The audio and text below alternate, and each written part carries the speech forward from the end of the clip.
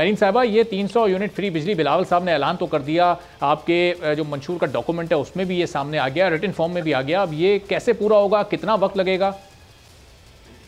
हाँ, देखिए मेरे अभी मेरे अभी भाई मैं पूरा तो नहीं सुन सकती हमारे मुस्लिम लीग नवाज़ के भाई उन्होंने बड़ी टेक्निकलिटी ये बता वो बता डॉलर तो ये और वो। जब एक लीडर ने अनाउंसमेंट की है तो उसने ज़ाहिर है पूरी मीटिंग करके सोच समझ के अनाउंसमेंट की है ना अनाउंसमेंट हम्म। आठ तारीख तक तो नहीं है ना इसके बाद भी तो उन्होंने अवाम को कोई जवाब देना है ना तो हम्म। इस तरह की बातें फ्रिवलेस करना कि ये हो गया वो हो गया ये नहीं कर सकेंगे मुझे ये बताइए कि मैं आपको अपनी जाती बात बताती हूँ कि मैं एन ए फिफ्टी वन से मरी कहूटा कोटली सतिया और कलर से इलेक्शन कंटेस्ट कर रही हूँ। हम्म। और मैं आपको ये बताती चलूँ कि वहाँ से प्राइम मिनिस्टर रहे हैं। आ, मुस्लिम लीग नवाज़ के प्राइम मिनिस्टर रहे हैं।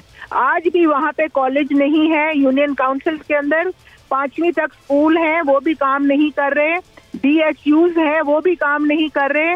अफसोस की बात है कि गैस जो पाकिस्तान पीपल्स पार्टी ने अप्रूव करवाई थी कुछ जगह वो लगी है और बाकी जब इनकी हुकूमत आई इन्होंने रोक दी क्या बातें कर रहे हैं ये बातें क्या कर रहे हैं अल्लाह के बंदो खुदारा मैं कहती हूँ आम गरीब आवाम के बारे में सोचें हम्म। पाकिस्तान पीपल्स पार्टी के जो दस नकाती एजेंडा जो बिलावल साहब ने दिया है हम्म। अगर ये इम्प्लीमेंट हो जाता है जो हमने अपनी हुकूमत में करना है तो आप देखें कि ये जो गुर्बत का मैार है और ये जो गुर्बत का, ये कहाँ से कहाँ जाएगा? अच्छा मरीन साहब, आप लोग भी रिलीफ देने की बात कर रहे हैं आवाम को और ये भी मुख्तलिफ़ अल्फाज में मुख्तलिफ़ तरीके से रिलीफ ही देने की बात कर रहे हैं। लेकिन अभी जब आप लोग पिछले दिनों साथ थे कोई सोलह माह आप लोगों ने साथ गुजारे अप्रैल दो हज़ार बाईस से अगस्त दो हज़ार तेईस तक इनमें से कितने इकदाम पर संजीदगी के साथ गौर हुआ इनिशिएटिव लिए गए इन पर काम करना शुरू किया? ज़रा उस, उस जब दोनों जमातें साथ थी उस वक्त कितना काम किया आप लोगों ने? देखिए उस वक्त तो क्या काम करेंगे?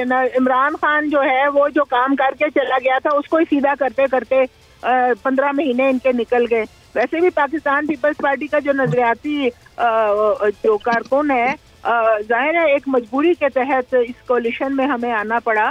जो सिर्फ़ हुकूमत पीडीएम का हम हिस्सा बिल्कुल भी नहीं थे और जो मिनिस्ट्रीज हमें मिली हैं जैसे फॉरेन मिनिस्ट्री उसका हिसाब हमने दे दिया और हम उसको मजीद देने के लिए तैयार हैं हम्म। और जहाँ तक आपने कहा कि इन बातों पे हमने कितना सोचा तो जब तक हुकूमत नहीं मिलेगी प्राइम मिनिस्टर नहीं बनेंगे बिलावल तो ये इन इस एजेंडे पे काम नहीं हो सकता मुस्लिम लीग नवाज़ चार दफ़ा रहे हैं प्राइम मिनिस्टर रहे हैं इनके हम्म। तो मुझे ये बताएँ कि इन्होंने कहाँ तक मुल्क की तरक्की की है हम्म। आप ये बताएँ कि प्राइम मिनिस्टर जिस हलके का हो उस हलके में यानी उस हलके के अंदर आज भी लोग रो रहे हैं और पानी औरतें सर पे भर के ला रही हो हम्म। तो खुदा के लिए मैं सिर्फ़ ये अपील करना चाहती हूँ मुस्लिम लीग नवाज़ से कि खुदारा आप भी पीपल्स पार्टी को वोट दे दें ताकि आवाम की कोई तो बेहतरी हो सके। अच्छा चले अब ये इस पर तो राना एहसान साहब अपना जवाब खुद देंगे लेकिन जब भी आप लोग इनसे इनके दौर का आ, सवाल पूछते हैं तो फिर जो पाकिस्तान पीपल्स पार्टी ने तीन अदवार अपने सिंध में मुकम्मल किए फिर सवाल आपसे ये होता है कि फिर जरा लाड़काना का मुकाबला